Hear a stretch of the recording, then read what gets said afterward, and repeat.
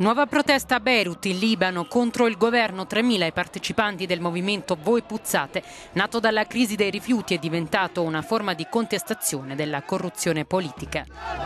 L'esecutivo intanto ha fatto sapere di aver adottato un piano quadriennale che prevede innanzitutto la riapertura della discarica di Naameh a sud della capitale. Lunedì entreremo in una nuova fase, paralizzeremo il paese, hanno affermato i manifestanti.